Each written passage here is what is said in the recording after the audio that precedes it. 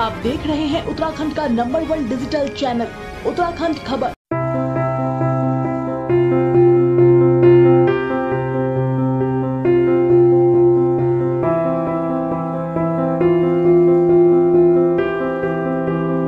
Pauri ज़िले का एक होनहार युवक प्रहलाद नेगी अपने खुद के संसाधनों से हेलीकॉप्टर बनाने के प्रयासों में जुटा हुआ है।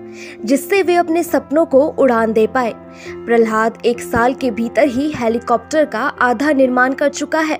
युवक का दावा है, उसको अगर सरकार की तरफ़ से इस निर्माण के लिए आर्थिक मदद मिली तो हेलीकॉप्टर का पूरा निर्माण डेढ़ साल के भीतर ही पूरा कर देंगे। प्रहलाद ने फ़िलहाल 150 सीसी का बाइक इंजन हेलीकॉप्टर में इस्तेमाल किया है, जिसको शुरू करने में पेट्रोल का इस्तेमाल किया जा रहा है। इस प्रोजेक्ट को करते करते मुझे शायद एक साल हो गया इसमें।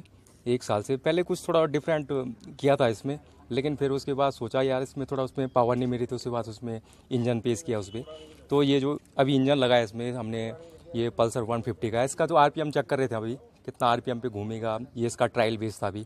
तो जो अभी इस पर खर्चा हमने अभी जो किया इस पर वो करीब तीस चालीस हज़ार के बीच में है।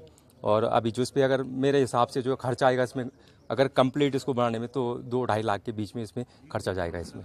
अभी क्या कुछ काम हो रहा होना बाकी है? इसमें खर्चा, इसमें काम ये था जो मेन सबसे मेन प्रॉब्लम थी यहाँ विंग्स की प्रॉब्लम थी। विंग्स जो लगे जाते हैं उसमें वो कार्बन फैब्रिक लगते हैं। लिंक रोड लगती है, लट्टू बैरिंग लगते हैं नीचे।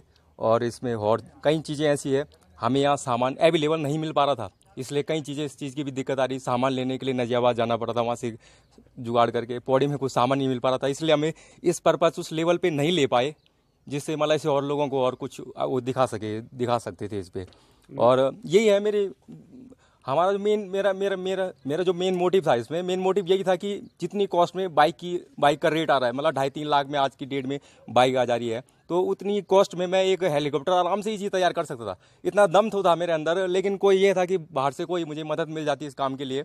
और एक छोटा गैरेज है, छोटे गैरेज में, छोटे वर्कशॉप में इस लेवल पे लाना किसी चीज़ को बहुत बड़ी बात होती है। पब्लिक से भी रिक्वायरमेंट है, जो बड़े बड़े लोग होते हैं, उनसे भी यही उम्मीद है कि थोड़ा मेरी मदद मदद मिल जाती ना, उनसे उनसे थोड़ा तो मैं इस काम को थोड़ा और आगे बढ़ा सकता हूँ मैं इसको।